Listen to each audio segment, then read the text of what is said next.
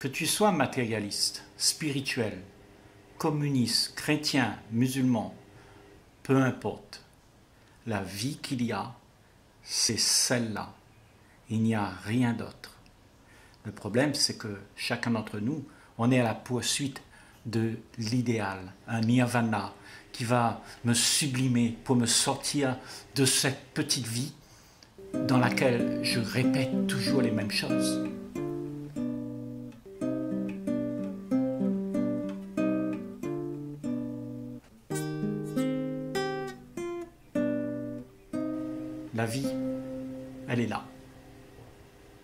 Tu l'acceptes, soit tu rêves.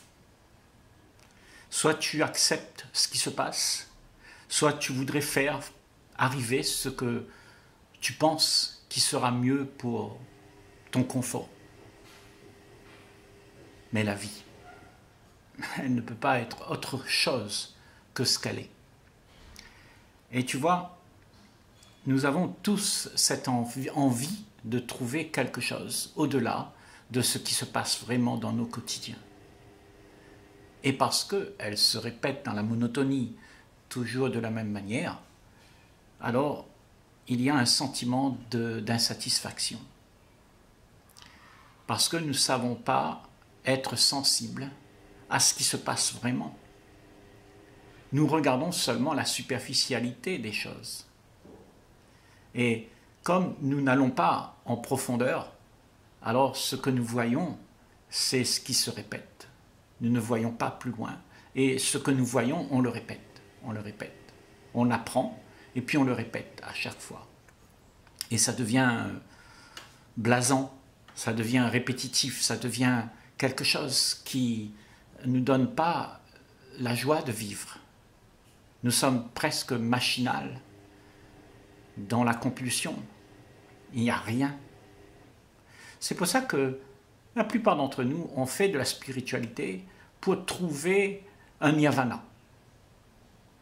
Si je fais ça, ça, ça et ça, j'aurai quelque chose.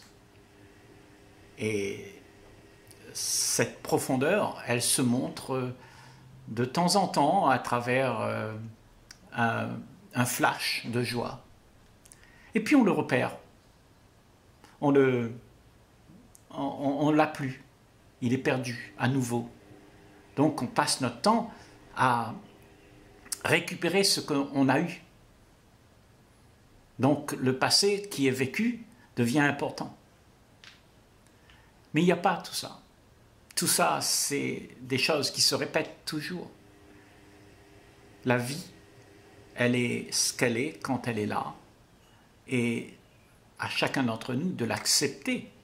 Parce que c'est dans cette acceptation-là que peut s'exprimer vraiment l'effet, l'effet de quelque chose qui est euh, que si on, laisse faire, on laisse être, eh bien ces faits s'avèrent être quelque chose d'extraordinaire. Parce que dans les faits, nous voyons la réalité nous ne voyons pas ce que nous aimerions faire exister. Et c'est les faits qu'il faut voir. C'est les faits qui sont très importants pour nous. Et ne pas chercher à devenir ou à être mieux ou à atteindre un, certain euh, réconfort ou un certain bien-être. Tout ça, c'est l'activité de celui qui est dans la monotonie, qui vit une vie médiocre et il veut quelque chose. Et celui qui veut, eh ben, c'est celui qui est agressif. Que ce soit une agression matérialiste en, en voulant posséder des choses pour se réconforter. C'est aussi la même chose avec le nirvana qu'on a entendu parler. Et on veut atteindre ça. C'est une violence par rapport à soi-même parce qu'il n'y a rien de tout ça. Tout ça, c'est la projection d'un idéal que l'on a fait, mais qui n'existe pas dans, faits du désir qu'on a. C'est un désir qu'on poursuit et on devient esclave de son propre désir. Et on n'est jamais satisfait. Mais la vie, celle que tu as là maintenant avec moi, c'est la seule chose qui existe. Autant la regarder sur, dans toutes ses facettes sans la fuir et voir qu'il n'y a rien que tu peux vivre autrement. Alors, quand tu acceptes de vivre ce qu'il y a, alors tu deviens authentique. Tu es prêt à voir ce que tu ne veux pas voir. Tu es prêt à regarder les choses telles qu'elles sont. Et quand tu as vu les choses telles qu'elles sont, tu ne les subis plus. Tu les laisses être parce que il n'y a personne qui peut changer ça. C'est comme ça. Si quelque chose arrive, ça arrive. Un accident, tu ne peux pas faire autrement. Tu peux prévoir, certainement. Mais quand c'est arrivé, c'est fini. C'est les faits. Ça se retrouve être un fait.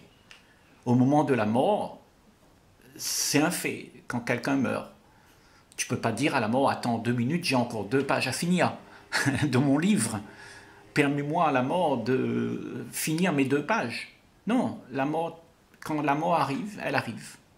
Et tout ça, on ne peut pas changer. Personne ne peut changer. Alors ton destin, c'est quoi? Ton destin, c'est de faire les choses pour ne pas avoir à subir. Donc tu te crées un destin, tu te crées une vie, tu te crées quelque chose que tu as mis en place pour pouvoir rester dedans et être confortable. Et tu penses que là, j'ai quelque chose à atteindre. Mon destin, c'est d'être heureux. Mon destin, c'est de trouver le nirvana, de rencontrer Dieu.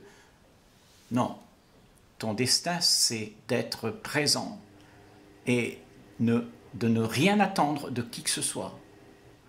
Et là, la vie qu'il y a, c'est ce que tu es. Il n'y a pas de destinée. Il y a juste la vie à vivre maintenant. Et quand tu vis cette vie, alors tout émerge. Parce que tu n'es plus préoccupé, en fait, avec les choses que tu aimerais. Ce qui, ce qui fait que ton esprit est libre. Libre de toute entrave pour explorer ce qui est, ce qui existe. Ton, esprit n'est plus occupé. La plupart de nos esprits sont occupés. On est comme, vous savez, le petit rat dans la roue là, qui tourne, qui tourne, qui tourne et qui s'arrête jamais. À la mort, il tombe parce qu'il n'en peut plus. Nos esprits sont fatigués de courir après l'illusion. Et il n'y a rien à atteindre, rien à gagner. Tout est là. Tout est là maintenant. Si tu peux accepter ça, alors ta vie ne sera plus un drame. Tu ne subiras pas les choses parce que tu as accepté que ces choses sont là pour être. Mais pas à être arrangées, contrôlées, pour pouvoir faire euh, ta vie euh, avec euh, une zone de confort. Toutes ces choses ne peuvent pas être changées. Mais toi, tu peux changer. Toi, tu peux concevoir le regard sur la vie avec à chaque instant un changement. Parce que l'habitude et le train-train, quand tu aimes la vie que tu te fabriques, ça crée l'habitude et les train-train. Mais ton regard, quand il n'est plus dans l'habitude et les train-train, eh ben, il est prêt à explorer les choses qui sont neuves.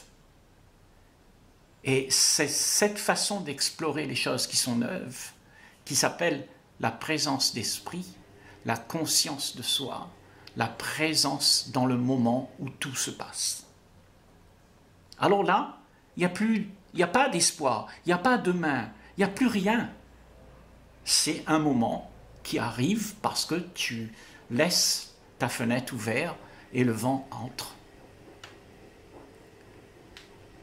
Donc, toute cette histoire de courir après un état divin, un état spécial, euh, qui te donnera euh, un état sublime, Je crains fort que ce soit une illusion. Accepter. Accepter tout. Ne pas juger. Ne pas vouloir que les choses soient différentes. Ne pas vouloir que les choses soient à ton goût. Et juste vivre ce qu'il y a sans rien faire. C'est la paix l'esprit. Et un esprit en paix a cette intelligence de mettre les événements en ordre. Il a la capacité de faire en sorte que les choses qui étaient incongrues puissent être arrangées, ordonnées, harmonisées, pour qu'il y ait une ambiance qui crée l'envie de vivre ensemble sans conflit. Mais autrement, si chacun regarde midi à sa porte et trouve le moyen d'idéaliser la vie, ben, il y aura des batailles, des batailles d'idées, des batailles de celui qui a raison, de celui qui a tort. Et tout ça, ça crée notre monde. Le monde que tu connais, c'est une bataille d'idéal. Toute la conscience que nous sommes, elle est en crise parce qu'on n'a pas abandonné nos idéaux. Donc, on est une conscience remplie de choses qu'on a mis dedans, et la conscience, la conscience n'est plus pure, n'est plus limpide. La perception n'est pas limpide. Ne mets rien. Moi je dis, ne mets rien. N'attends rien. Ne demande rien. Accepte de regarder ce qu'il y a à voir, mais pas ce que tu veux voir, qui va te donner une note de plus, un épaule de plus.